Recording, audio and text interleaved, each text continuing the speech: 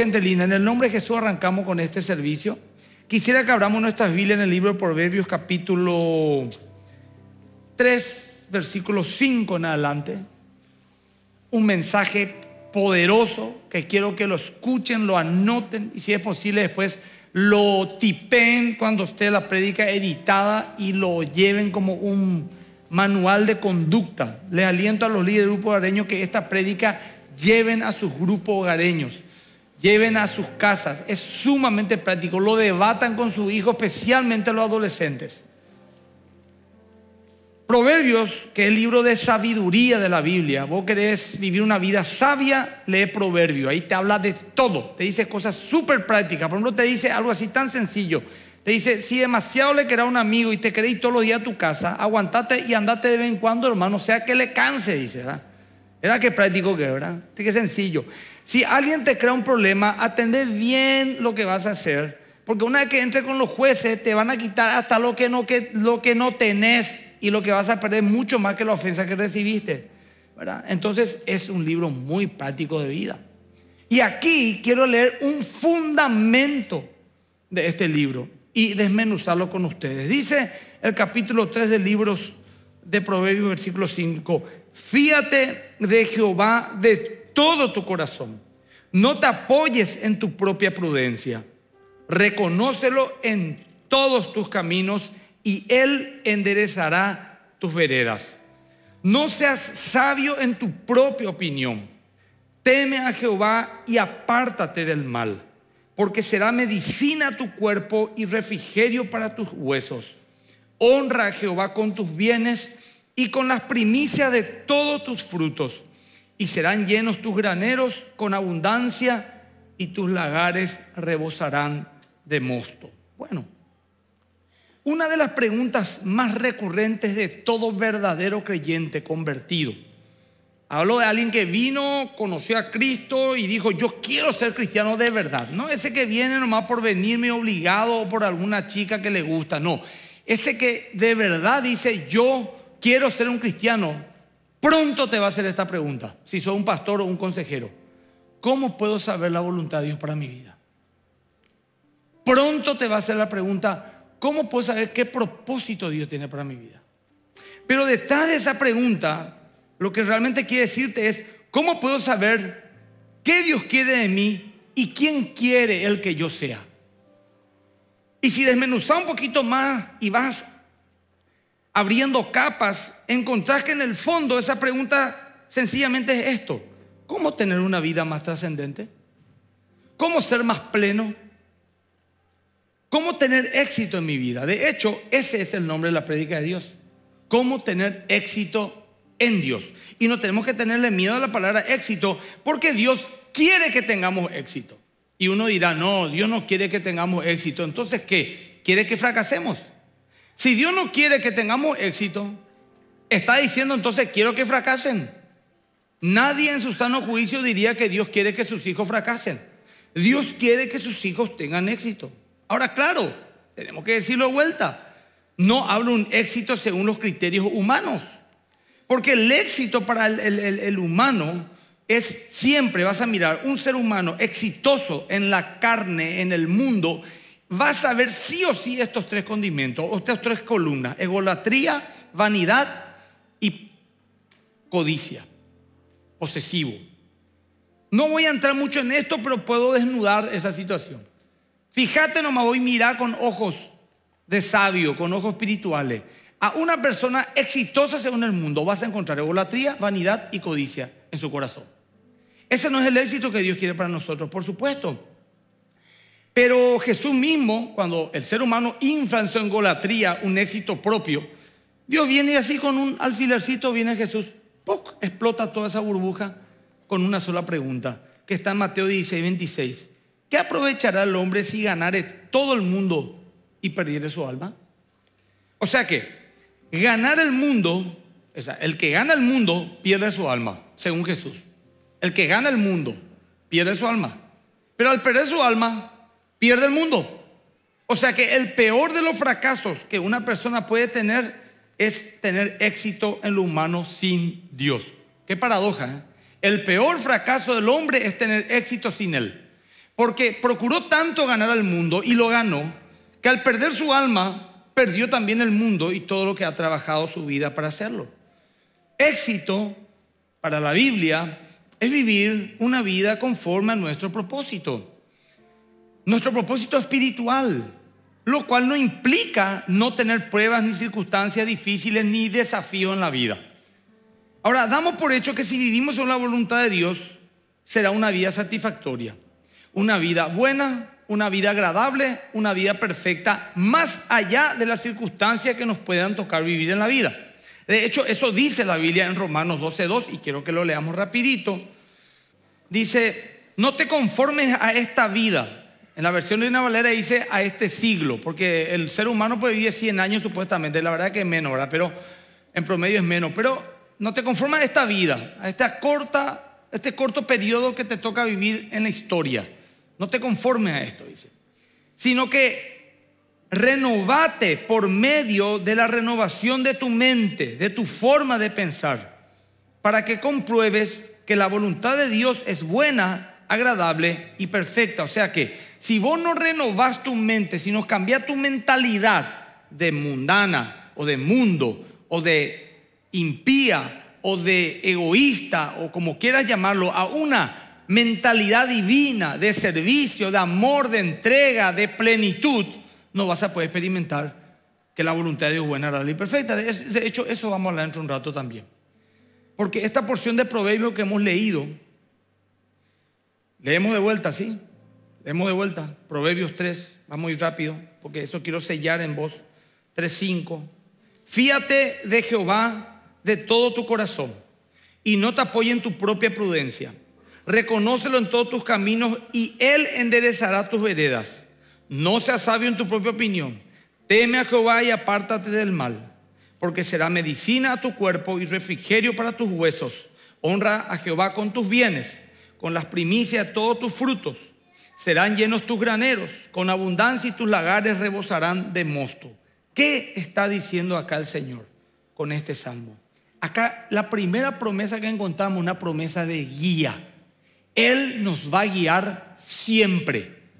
Ni un segundo va a dejar de guiar a un hombre o una mujer que ha decidido entregarle su vida a Él y confiar de todo corazón. Esto es una palabra clave, confiar de todo corazón. Acá Dios te dice, te prometo guiarte en todas las áreas de tu vida. Y encontramos tres cosas en estos versículos, cinco versículos que hemos leído. Encontramos una receta, encontramos una propuesta y encontramos un resultado. Y vamos a desmenuzar eso en esta mañana. La promesa de que Dios nos guía está en toda la Biblia. Es algo recurrente en Dios. No es solamente un versículo oscuro que está por ahí perdido. Te leo uno, hay muchos versículos en el Antiguo, en el Nuevo Testamento, pero te leo, uno, el Salmo 32, 8. Dice, te haré entender y te enseñaré, eso es guía, el camino en que debes andar. Sobre ti fijaré mis ojos. Es una promesa para los hijos e hijas de Dios y tengo que creerlo a rajatabla, porque dice la Biblia, confía en Jehová de todo corazón. Y Dios nos promete en muchas partes guiarnos y, tenemos que creerle. Quiero que digas conmigo, y si es posible, memorizate esto. Fíate de Jehová de todo corazón. Esa es la primera receta que Dios nos da. La primera. Y Dios nos dice que sin fe es imposible agradarle. Y la fe es confiar en Él. O sea, ¿en qué? En su palabra en sus recomendaciones, en sus mandamientos, en sus principios, en su enseñanza, aunque muchas veces no podamos entenderla. Dios tiene un plan personal para vos. Él dice, ni un solo cabello caerá de tu cabeza sin que yo lo permita. O dice, sé cuántos cabellos tiene tu cabeza. Yo creo que el Señor hubiera querido decir esto. Yo sé cuántos átomos tiene cada cuerpo de cada persona en todo este mundo. Y de los apóstoles dijeron, pero ¿qué átomo, Señor? Y dijo, bueno, escriban cabello, dijo. Porque no iban a entender todavía. Pero el punto es que Dios te conoce de punta a punta como nadie te conoce, ni como tus padres te conocen, ni como tu pareja te conoce, ni como tus hijos, ni como tu mejor amigo te conoce. Y Él tiene un plan para tu vida. Nada escapa a su conocimiento. A veces nos cuesta confiar en Dios. ¿Saben por qué? Porque no le conocemos a Dios. No le conocemos. De manera natural todos desconfiamos de alguien que no conocemos. Primero tenemos que entrar en una confianza, para, o sea, en, en un conocimiento para después entrar en una confianza.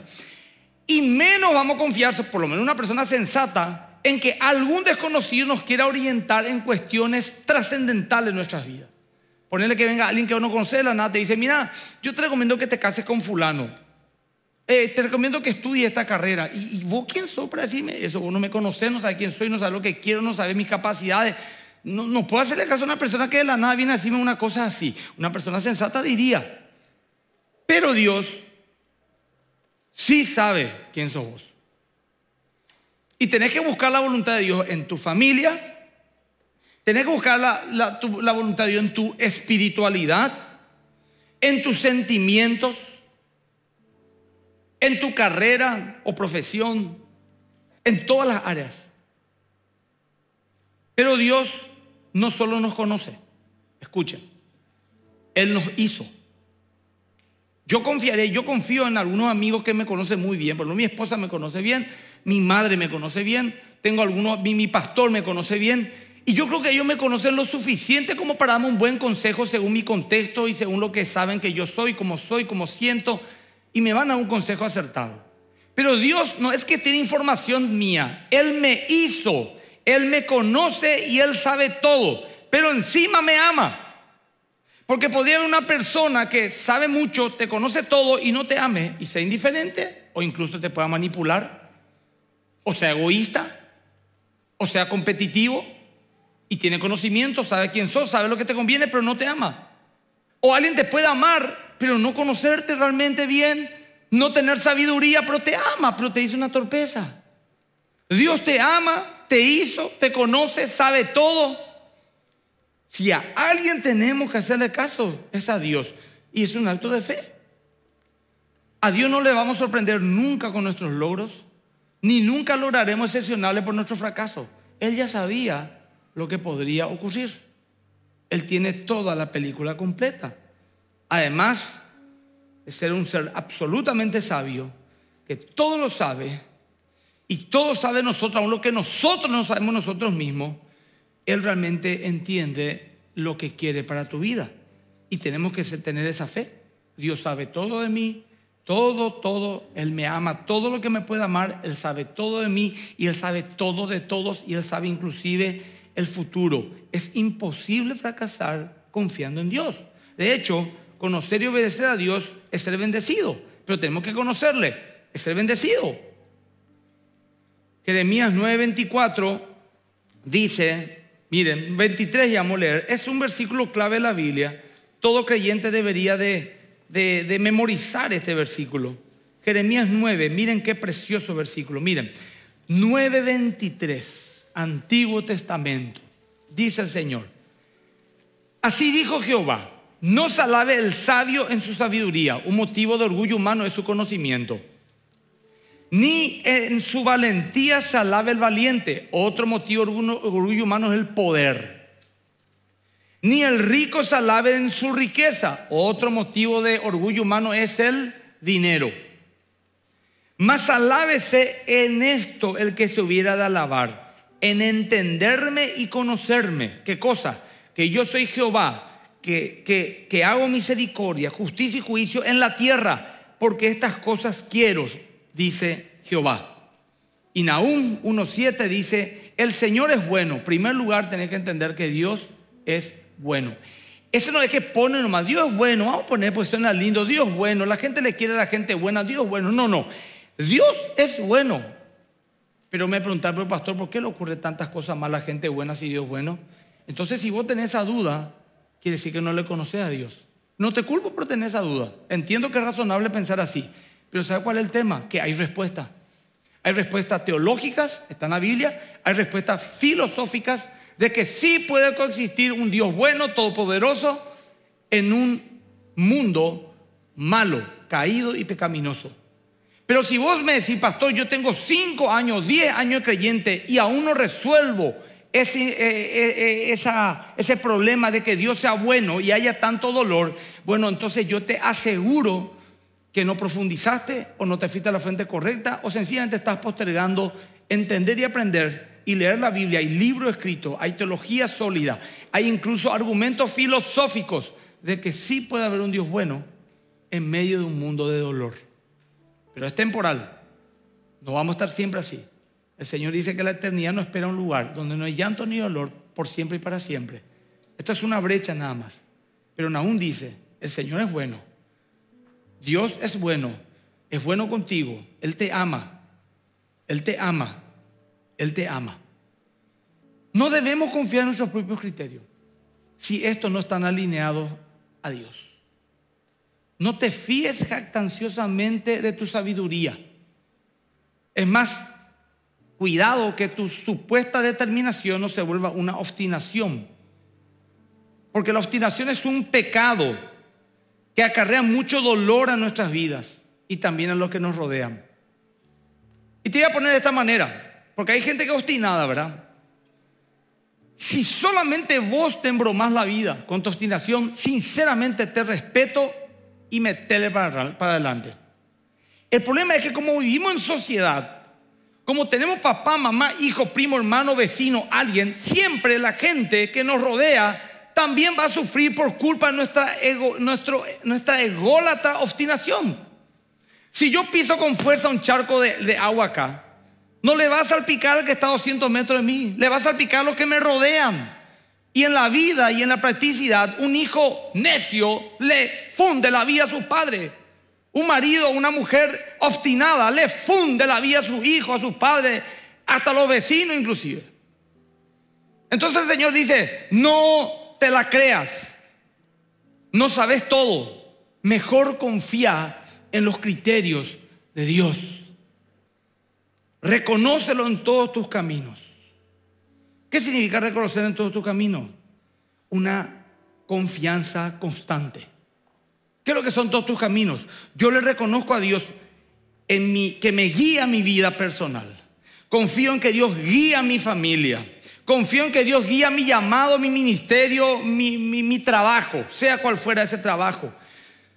Mi vida laboral está en las manos de Dios. Mi vida familiar, mi vida amorosa, mi vida moral, mi vida pública, donde sea, en mi diversión, yo busco y reconozco a Dios. No puedo yo decirle a Dios, bueno, en mi trabajo, Señor, guíame en la diversión, ponerte a un costado, mañana nos hemos vuelto a las 8 de la mañana. No, no se puede. No se pueden disociar las cosas. Caminemos. Aparte, luego el Señor es súper bueno. Súper bueno. El Señor, a mí algunos jóvenes me dicen, Dios me limita. Y miramos a veces, incluso de adulto, al impío desde una ventana de nostalgia y hasta de envidia porque él puede supuestamente vivir y hacer cosas que uno no puede hacer. Yo te pregunto, ¿Dios te prohíbe que trabajes? La Biblia dice no trabajará. Muchos querrían que diga, pero no dice eso. Al contrario, dice que él no trabaja, que no coma, pero no trabajarás. La Biblia te dice no estudies. La Biblia te dice no sirvas. La Biblia te dice no viajes. La Biblia te dice no ames. La Biblia te dice no te cases. La Biblia te dice no tenga hijos. La Biblia te dice no comas sano. La Biblia te dice no descanses. No, la Biblia te dice no mientas, no adulteres, no seas inmoral, no robes, no seas un violento.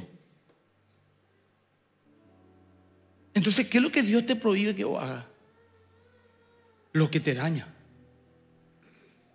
¿Cuál es, ¿En qué estás perdiendo? qué, libertad vos perdés al ser cristiano? ¿Cuál, ¿Cuál de tus libertades perdés? ¿La libertad de pecar? ¿Eh? De este árbol no coma. Uno, come todo. Ahí está la piña, la banana, la manzana, el higo. Por ejemplo, lo que es el mango. Se llama una cosa increíble. Eh, por ejemplo, aquel, la banana es raro, es amarillo, es alargado y la semilla un puntito negro. Solamente voy a poner un sector que se llama Asia. Después vaya todo el mundo y va a ser una de los postres más ricos que hay. Probá esto, probá que yo. Este nomás no puede. Este nomás. Ese se va a probar. ¿Sabes lo que Dios te dice? Estudiar, trabajar, casarte, divertirte, ponerte con un buen físico, andate al gimnasio, entrenar, ponete linda, sé feliz, divertite, viajar, andate a la playa, servir, orar por la gente, aprender la Biblia, evangelizar. No peques nomás, ¿eh? Eso nomás. No peques. No sé si fui más claro. ¿Entendiste? Entonces entendieron todo. ¿Qué, es lo que, libertad lo que te coarta Dios? Decime qué querés ser de bueno en la vida y te aseguro que Dios te va a bendecir. Quiero ser cantante, pastor. Muy bien. ¿Qué música vas a cantar? Lo que vamos a terminar. La Biblia dice, te voy a decir el motivo número uno. Y esto no te olviden, porque no es, no es difícil. El motivo número uno del fracaso de todos los creyentes de la historia y del mundo entero. Hay un solo motivo por el cual fracasaron. Retrocedieron o no son plenos en lo que Dios le llamó a hacer. Un solo motivo, no dos, uno. No confiaron en Dios de todo corazón. Su desánimo, su caída, su desvío se, se debió a que tomaron decisión según sus propios criterios y dejaron a Dios en un costado.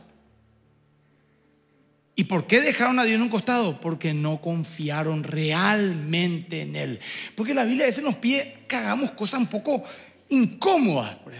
Por la Biblia dice, lo tomes lícito, pero no tome conviene. Para el creyente maduro, y estamos persiguiendo la madurez espiritual, no es más, ¿está bien o está mal? Ni un creyente maduro va a decir, está bien que me vaya con una persona que no es mi pareja a encamarme. No, ese no es más motivo de filosofía. Ahora el tema es, por ejemplo, ¿está bien o que está mal que yo me vaya a un cumpleaños donde sé que va a haber excesos y me invita a mi compañero de trabajo?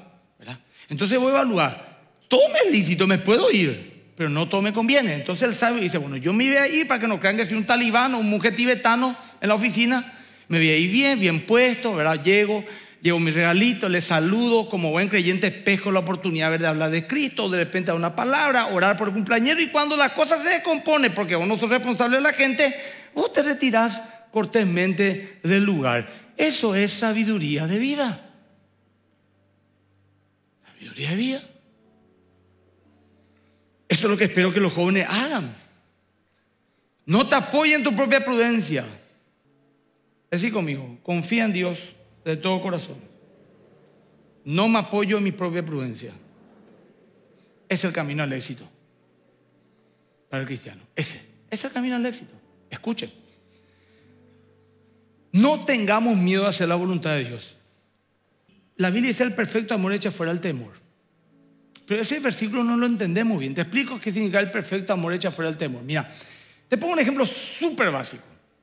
Suponete que vos estás en tu sala, un blinde así cerrado, abierto, perdón, y tu patio lindo, tu jardín, y de repente de la nada ves una culebra así de larga en tu pasto. Y vos sos como yo. Vos le tenés terror a la víbora. Y a la araña también, entre paréntesis. Pero si mi hijo de dos años está jugando en el jardín y ahí veo a un metro de esa víbora secándose hacia él y yo vos sos como yo. ¿Sabes qué va a pasar? Vamos a atropellar, aunque estemos descalzos, vamos a saltar, le vamos a patear la víbora, aunque nos pique, no importa, la agarramos a la criatura y corremos y pedimos socorro. El perfecto amor a mi hijo echó fuera el temor a la serpiente. Y cuando vos le conoces a Dios y le amás a Dios, no tenés miedo de lo que Él pueda pedirte, porque sabes que Él te va a sostener y que en esa voluntad vos vas a hallar plenitud. Aunque humanamente pierdas algunas cosas que hubieras querido ser o hacer si vivías por tu cabeza. Mientras más le conozcamos, más le amaremos y mientras más le amemos, menos miedo tendremos de hacer lo que Él nos llama a hacer. Ahora, la voluntad de Dios, escuchen lo que le voy a decir. Este tal vez es un principio de, este, de esta columna. La segunda columna, la primera era qué cosa? El fracaso, el motivo por el cual fracasan todos los creyentes porque no confiaron en Dios de todo corazón y se apoyaron en su propia prudencia. El segundo, la voluntad de Dios es lo que todos aceptaríamos si tuviéramos todos los factores y toda la información que Dios tiene de nuestras vidas. Repito, la voluntad de Dios es algo que todos aceptaríamos si es que tuviéramos todos los factores y la información que Dios tiene en nuestra vida, porque Él tiene la película completa, nosotros solamente parte, lo que vivimos hoy. Es como que vos tengas 90 años y alguien te diga, si te llevo de vuelta a un cuerpo de 10 años de edad y empezar de vuelta tu vida, sabiendo todo tu error y tu acierto, ¿cómo vivirías tu vida? Con mucha más sabiduría. Sabría qué tipo de amigo escoger, sabría qué, con qué tipo de mujer casarme, sabría qué tipo de trabajo escoger, sabría qué decisiones tomar. Cuando tenía 30 años tomé esta decisión, está equivocado. Cuando tenía 40 no tomé la que tenía que haber tomado. O sea, tu vida sería sabia porque voy a tener toda la película completa. Bueno, no es una locura confiar en un Dios que todo lo sabe, que todo lo entiende, que todo lo comprende, que todo lo ama. No es difícil. No es difícil. Pero como estamos limitados y tenemos incredulidad, entonces nosotros no tenemos todos los factores y dudamos muchas veces lo que Dios pueda querer para nuestra vida. Hay veces caminamos en fe y aún en la voluntad de Dios dudamos. Abraham le dijo a Abraham, Abraham, sí Señor, sal de tu tierra y tu parentela. Usted no entiende lo que significa a una edad X de la vida mudarte de país, aunque te vaya a un gran país. Empezar de cero, ahí no sos nada, no sos nadie no tenés trayectoria, no tenés currículum, no tenés contacto, no tenés amigos, no tenés cultura de ahí. Es todo distinto. Ha de ser terrible, especialmente cuando uno ya formó su vida en un lugar. Irse a otro. Salí de tu tierra y tu parentela. ¿Dónde? Por lo menos así me dónde, así me mentalizo. No, andá, no me voy caminando. Pero ¿dónde andáis? ¿Dónde, pues, Señor? Andá, el desierto estamos, Señor. Seguí, no me voy caminando. Es terrible no saber uno dónde va. Y de hecho cometió muchos errores. ¿eh? Bajó a Egipto, su esposa era muy linda, le echó ojo al faraón, dijo que era su hermana. Dios le salvó, el faraón le dijo a rato, esposa, toma todo este oro y andate de aquí. Se fue, volvió a meter en otra oportunidad. Se pasó metiendo la pata él, pero confiaba. Y Dios terminó su propósito en su vida. Vos y yo tenemos que caminar con esa fe. Y agradecer que no te dice, deja tu tierra y tu parentela. Agradecer que no te dice, al desierto. Yo por lo ahora me decís, no te quería vivir, no sé, en el país más rico y culto del mundo, no quiero. ¿Sabes por qué? Porque acá tengo ya mi historia, tengo mi cultura. Vos sabés lo que es no comer chipa, tomar cocido. No, un domingo yo no sé qué hacer. Yo no sé cómo. Yo los domingos no vengo. Estoy más perdido que Tarzán en Nueva York. Digo, yo que domingo a las 3 de la tarde. Hay gente en el shopping domingo a las 6, por ejemplo. Yo no sé. Yo estoy todo el día acá los domingos hace 20 años. Mi vida es esta. ¿Cómo hago? Con su virtud y su efecto. Abraham le pidió al Señor que salga y que dependa de él.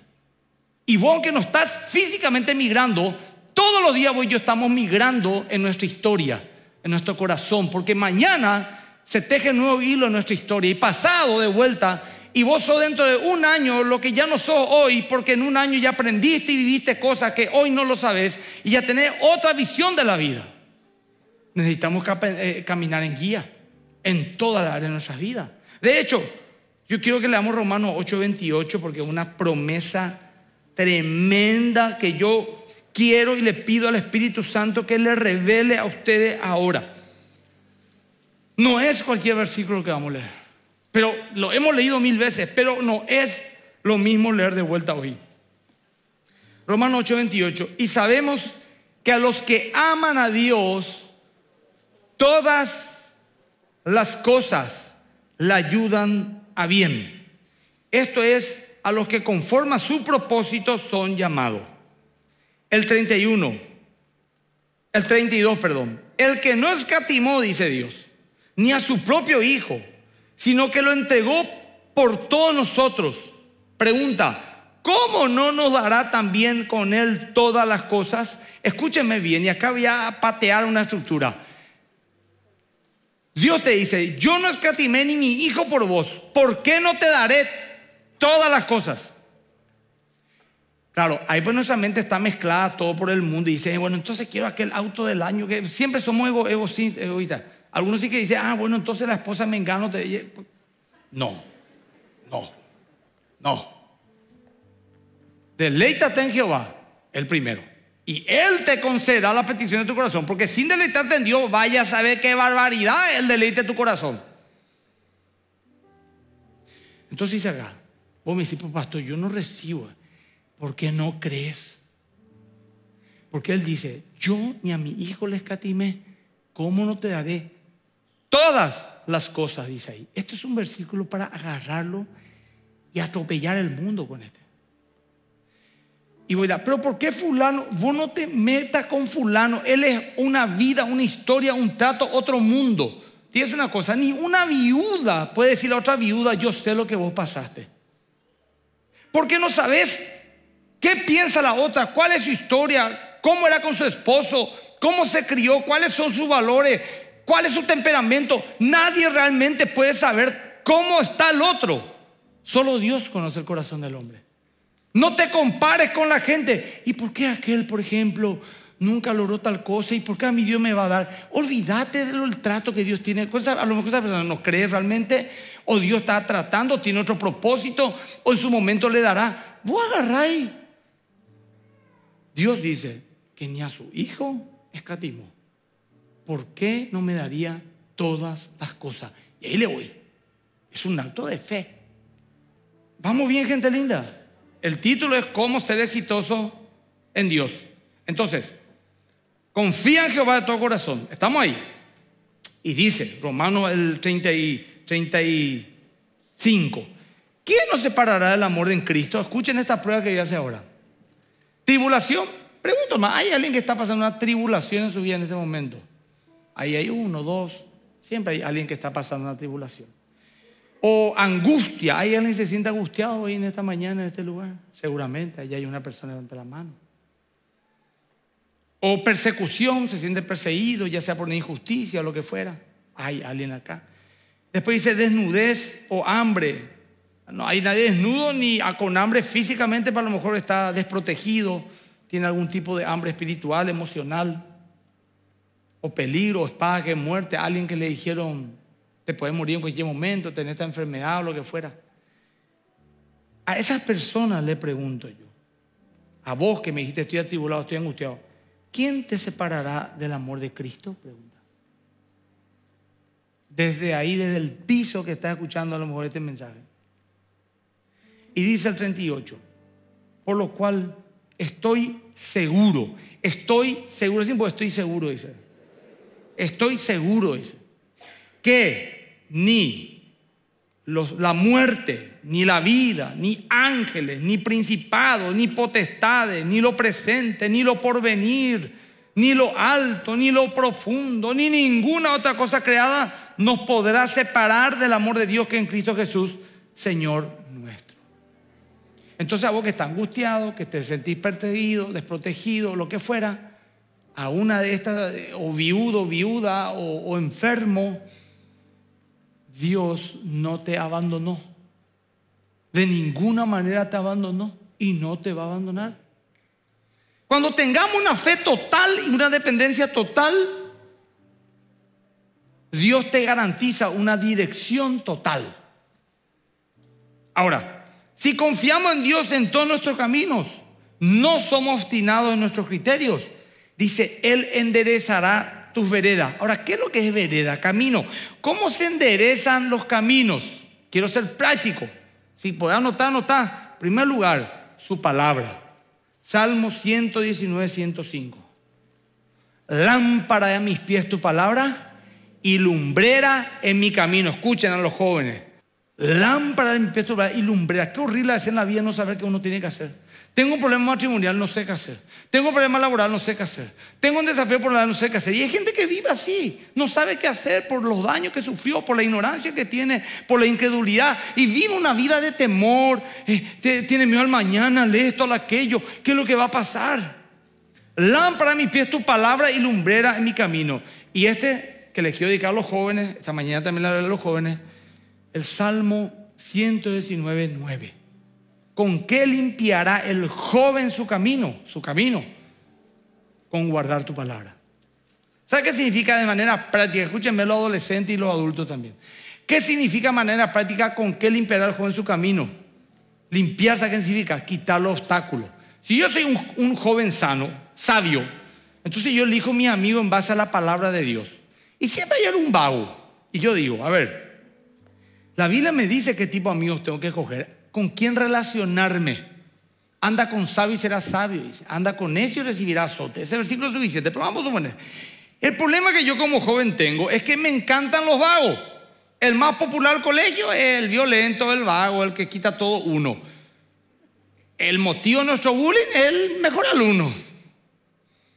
Y yo tengo una lucha en mi, en mi corazón porque por un lado mi sentimiento está con el, con el, el, vago del grupo, me, me gusta.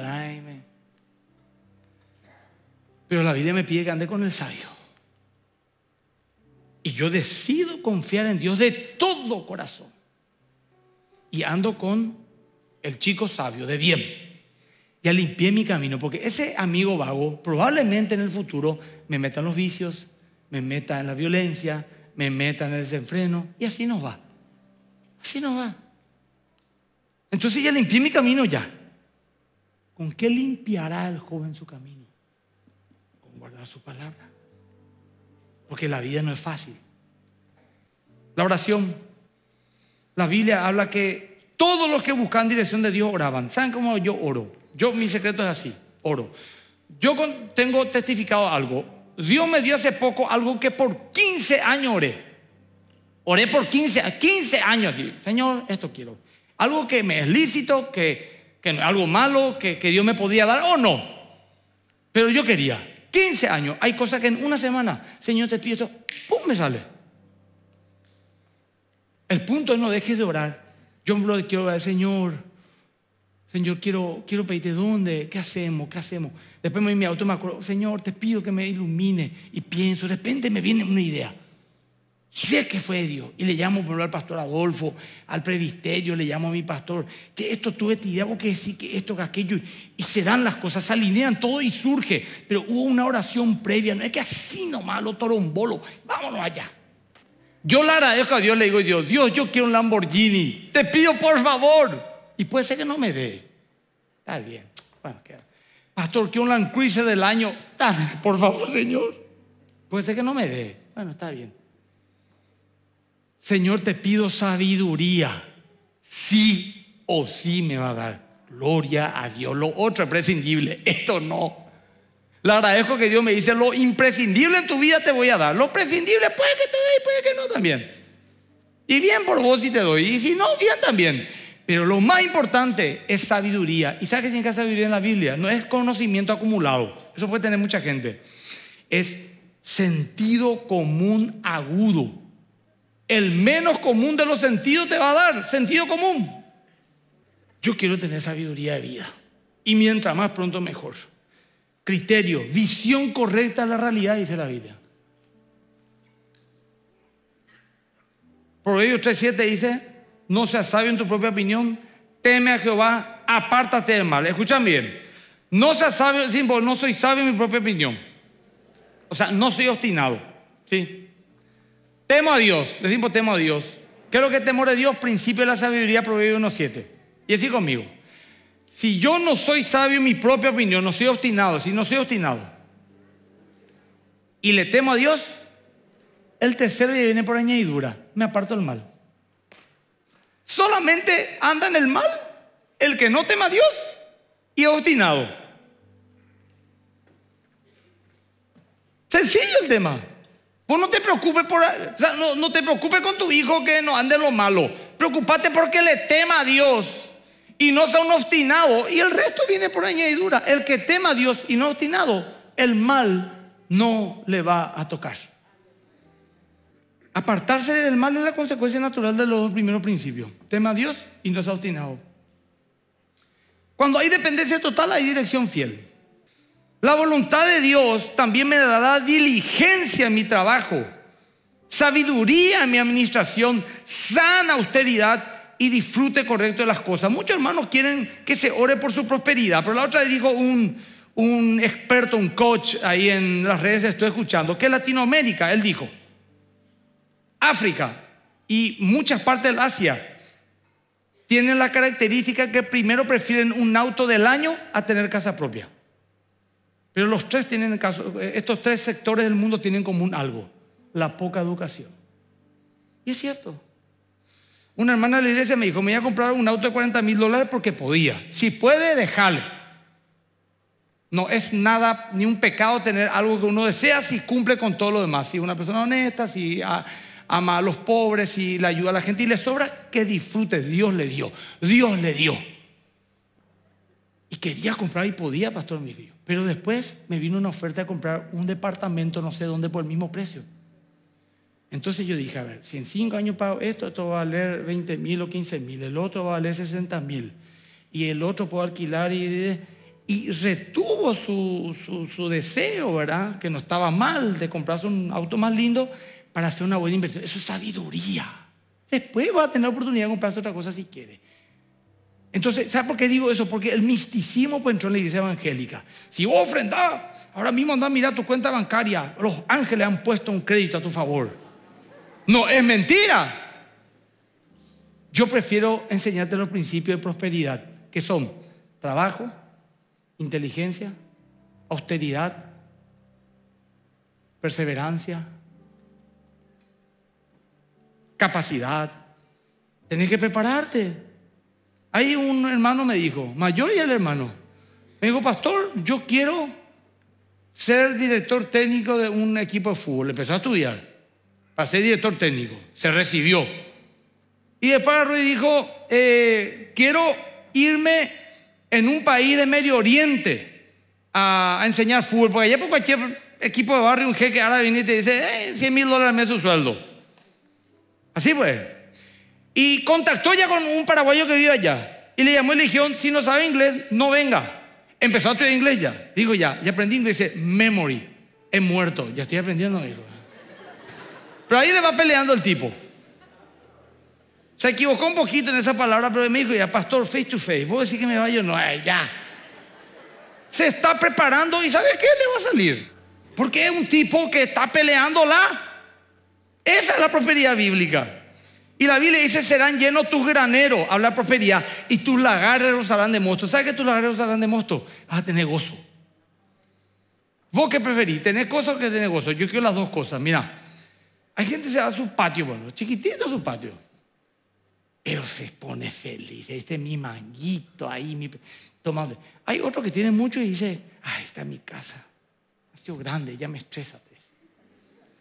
Después Ve un departamento en tal zona de la ciudad. Se va. Ay, me siento encajonado.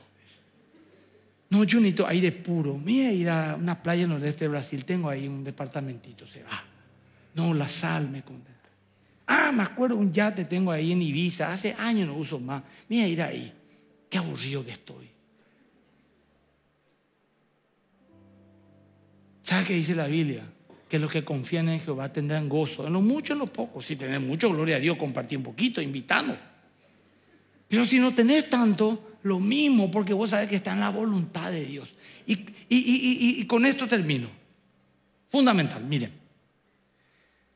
¿Cómo empiezo, pastor? Me encantó tu predica. Quiero hacer la voluntad de Dios, Señor. Pastor, quiero arrancar hoy mismo ya para hacer todo lo que me dijiste que tengo que hacer. Confiar en Dios, todo corazón, no apoyar mi propia prudencia, apartarme del mal. Todo eso. ¿Cómo empiezo, pastor? Te voy a dar las claves. Sencillo es, aténme bien. Hoy puedo empezar. Empezar haciendo la voluntad de Dios en las cosas más rutinarias y diarias y sencillas de tu vida. Ahí hace la voluntad de Dios. Porque Dios dice, si sos fiel en lo poco, sobre lo mucho te pondré. Entonces, por ejemplo, vos te vas a llegar a tu casa ahora. Vas a llegar ¿Cómo Dios quiere que llegues para la iglesia a tu casa? Con un espíritu de paz, con felicidad. Llega, no así, un guay ya. Y están ahí, y voy a llegar. Vengo de la iglesia y ustedes pecadores. No sé, los que son casados, por ejemplo. Hagan la voluntad de Dios con su pareja hoy. Sírvanle.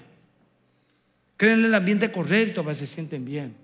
Si ustedes son hijos, ah, lávenme los cubiertos. Yo la otra estaba en casa aburrido, estaba en casa, ¿eh? estaba aburrido y ¿qué voy a hacer? Yo le dije, Señor, quiero hacer tu voluntad, estaba pensando. Y paso frente a la cocina y veo un montón de cubiertos sucios. De verdad te digo, mediodía por la leguera, las dos de la tarde. Y dije, voy a lavar los cubiertos. Puse una predica y, mira, y lavé los cubiertos. Tranquilo. No, es que tenía ganas de lavar cubiertos, pero lavé. Y de repente se levantó mi esposa como media hora después y pasó así, así frente a la cocina y dijo, ¿quién limpió todos los cubiertos? ¿Por qué no vino la chica, amigo? Y yo limpié mi amor, mi amor, qué amor. Y me abracé yo.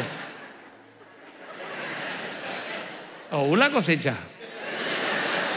Y yo hice desinteresadamente. Yo en un detalle fui fiel y ella me puso. Y así seguí.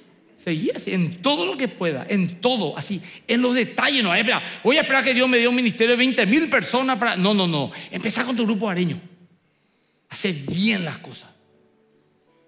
Todos los días va a ser un hábito para la. O no, no responda. Yo hice, estoy con mi ayuno. Yo, Dios me dijo, ¿qué puedo decir ayuno de silencio y comentario? Eso tiene cierto estilo de vida, me dijo el Señor. Me estoy por loco. Yo iba a terminar, pues ya mi ayuno de comentario. No puedo criticar a nadie. Desesperante, no sé más ni para qué tengo redes sociales ahora. Y no le critico a nadie. Y me pica todo.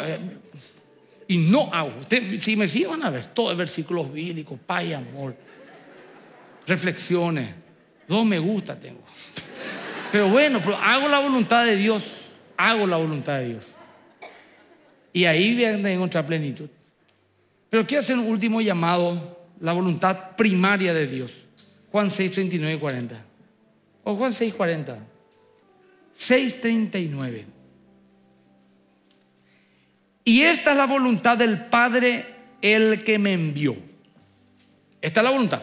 Que de todo lo que me diere no pierda yo nada, sino que lo resucite en el día postrero.